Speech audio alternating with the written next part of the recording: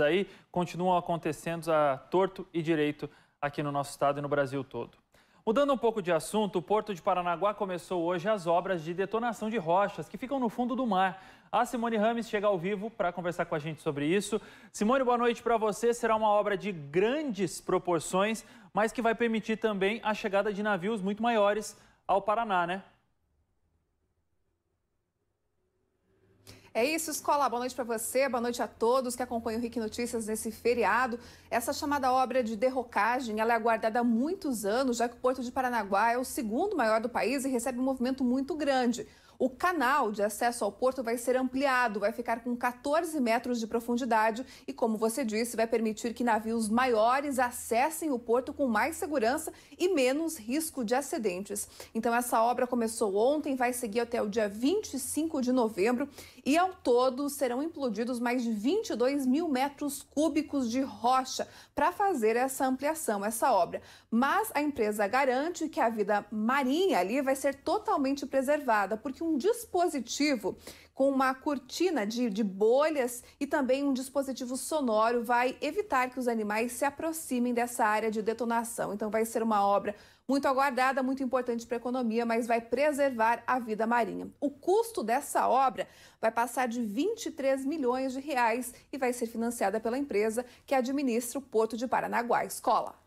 Tá certo, Simone. Obrigado. Uma curiosidade sobre o nosso litoral, claro, e que vai também impulsionar a economia. Daqui a pouco a gente volta a se falar. Mas antes, o feriadão da Independência levou quase 20 mil turistas para a Foz do Iguaçu. E como não poderia deixar de ser, a maioria foi até lá para ver a mesma coisa: as cataratas. Nas primeiras horas da manhã, um grande número de visitantes apreciava as principais quedas das cataratas do Iguaçu. Um destino que realmente sempre surpreende é, essa energia toda da água e tal. Além do mais, eu tenho família aqui perto, então eu sempre gosto de vir aqui para ver como é que estão os passeios e as atrações. Desde o começo do feriado prolongado, no sábado, o Parque Nacional do Iguaçu recebeu cerca de 13 mil visitantes.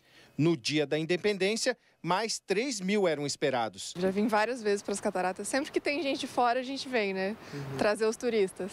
E é um lugar bom para passear, né? Dar mais parecida. Né? Ah, é ótimo aqui. Esse contato com a natureza realmente é muito bom. E se sobrou turistas, faltou água nas cataratas. Na manhã de terça-feira, o volume era de 530 metros cúbicos de água por segundo, três vezes menor que a vazão normal. Essa baixa vazão acontece porque, além da falta de chuva, existem seis usinas hidrelétricas acima do Rio Iguaçu. E elas precisam reter água para gerar energia e, por isso, acabam por transformar um dos cenários naturais mais famosos do mundo. Realmente, essa seca aqui que está acontecendo agora é... não tirou a beleza, mas a gente sente a falta né, da, daquela quantidade de água que tinha. Mas a beleza disso aqui não tem como comparar.